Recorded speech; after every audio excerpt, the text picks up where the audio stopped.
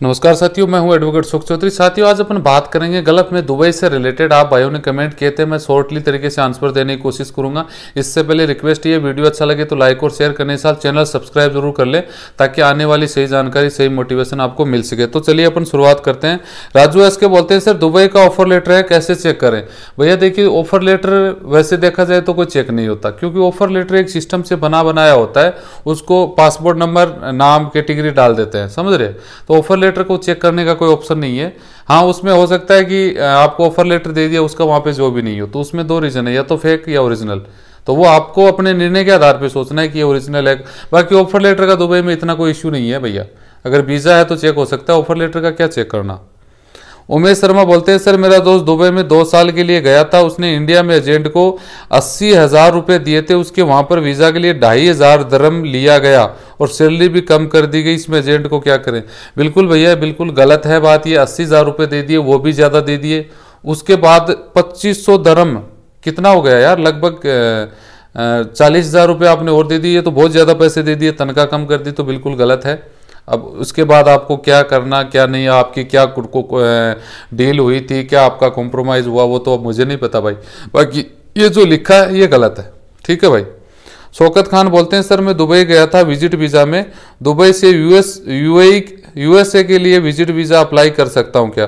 भैया, आप visit visa के लिए दुबई में हो तो वहाँ से यूएसए के लिए विज़िट वीज़ा आप वहाँ से आगे आप जाना चाहते हो तो बिल्कुल मिल मिल सकता है वीज़ा, ऐसी कोई बात नहीं है, लेकिन उसके लिए कंडीशन होगी, वो कंडीशन आप अगर फॉलो करते हो तो आपको बिल्कुल वीज़ा मिल सकता है, एक कंट्री से दूसरी कंट्री, आगे लोग छः छः, सात सात कंट्री घूमते हैं, वीज़ा आसानी से मिल जाता है, लेकिन उसके लिए आप कम से कम परफेक्ट होनी चाहिए कि आप में वो क्वालिटी है कि आप वहाँ यू जा सक यू जा सकते हो।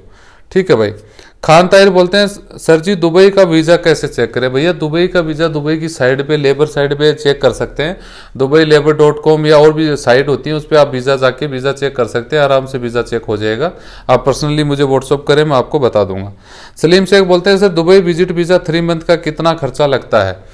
भाई देखिए, दुबई का थ्री मंथ का वीज़ा का बाईस हज़ार से लेके पच्चीस हज़ार तक ले लेते हैं। मिनिमम बाईस हज़ार है, ऊपर से पच्चीस हज़ार है। इससे बीच में ज़्यादा खर्चा इसमें नहीं लगता। मुबारक खान बोलते हैं, सर, अभी मैं सऊदी में हूँ, मुझे दुबई जाना है। लोडर ऑपरेटर, डोजर ऑपरेटर में, क्योंकि सैलरी क्या है दुबई में प्लीज़ बताइए। देखिए भाई, ये जो कंस्ट्रक्शन से रिलेटेड है ना, दुबई में, कतर में, सऊदी गल्फ में सेम सेम है, कोई फ़र्क नहीं है। कोई भी फ़र्क नहीं है। जितना आप दुबई, सऊदी में कमा रहे हो, वही तनख्वाह आपको दुबई में मिलेगी, बल्कि दुबई में डायरेक्टली ये लोडर ये डोजर ऑपरेटर डायरेक्टली नहीं मिलेगा। क्योंकि उसमें वहाँ जाके लाइसेंस बनवाने के बाद ये जॉब मिलता है, सऊदी में आसानी से मिल जाता है। लेकिन दुबई में ऐसा नहीं है तो थोड़ा सा ध्यान रखें, सोच समझ के आप आए, वरना ये दिक्कत हो जाएगी। सऊदी वाला जॉब भी छूट गया, दुबई का काम भी नहीं हुआ तो आप सोच ले थोड़ा सा। सतीश कुमार बोलते हैं, सर, मेरा भाई दुबई में है, उसने अभी भेजा था, लगे हुए पाँच दिन हुए हैं B U Jhansi tourist visa पे क्या होता है? मैं उसे वापस बुलाना चाहता हूँ। सर, वो वापस आ सकता है क्या? दिक्कत तो नहीं होगी। एजेंट तीन हज़ार धर्म मांग रहा है, बोल रहा है छः महीने बाद जाना। भैया, देख लिए विज़िट वीज़ा में आपने भेजा है वन मंथ वाले में थ्री मंथ वाले में। तब तो अगर आपका एजेंट आपसे तीन हज़ार धर्म मांग रहा है, वो गलत मांग रहा है। पाँच दिन में उसने वीज़ा भी वहाँ पर अप्लाई नहीं किया तो उसका कोई खर्चा नहीं हुआ, या पहले से अप्लाई कर रखा, वो कंडीशन पर डिपेंड करता है। बाकी वीज़ा का पैसा तो लगता है, अगर उसने अप्लाई किया है तो उनसे डॉक्यूमेंट मांगिए। वो अगर बोलेगा, ये आपकी, देखो, वीज़ा की फ़ीस मैंने वहाँ पे इमिग्रेशन में एम्बेसी में जमा करवा रखी है तो वो सही है, वरना वो गलत है। तो आप अपने हिसाब से थोड़ा देख लीजिए। अल्ताफ कुमार बोलते हैं अशोक भाई, मैं अभी टेलर टेलर भी हूँ और मुझे ड्राइवरिंग भी आती है। मैं दुबई जाना चाहता हूँ। मैं किस जॉब में जाऊँ, इसमें प्रॉब्लम नहीं हो। Please reply me next video.